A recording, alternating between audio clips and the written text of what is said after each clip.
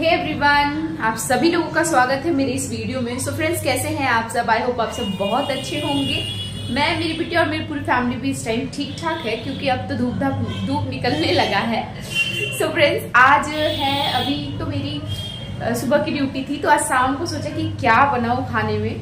तो हस्बैंड से पूछा, उन्होंने कहा कि दाल का दूल्हा बना दो मतलब दाल फारा। उनको बहुत पसंद है। तो उन्होंने कहा कि बना दो वही, हम दो ही लोग हैं आज खाने के लिए तो आज बस मैं और मेरे हस्बैंड बिटिया हैं घर में। तो ये हुआ कि चलो वही बनाते, काफ़ी दिन भी हो गए थे।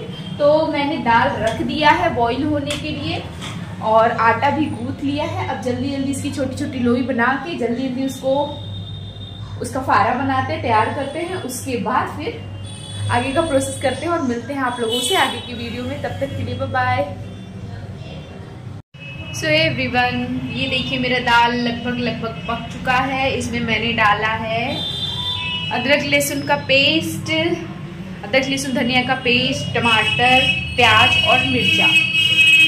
और ये मेरा फारा तैयार हो गया है। इसको मैंने बना लिया है। अब इसको कैसे बनाया मैंने? इसको आटा गूंथते टाइम मैंने इसमें डाल दिया है अजवाइन और नमक।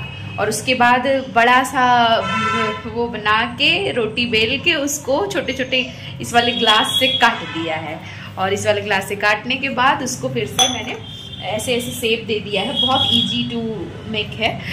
और अब इसमें डाल दूँगी। डाल के जैसे दाल जितने सीटी में पकता है, ऐसे बहुत लोग तो उबाल के ही ऐसे बनाते हैं बट मैं सीटी लगा के बनाती हूँ। तो जब जैसे दाल जितने सीटी में पकता है, उतनी ही सीटी में भी उसके साथ पक जाता है। क्योंकि ऑलरेडी उबाल रखा है दाल को।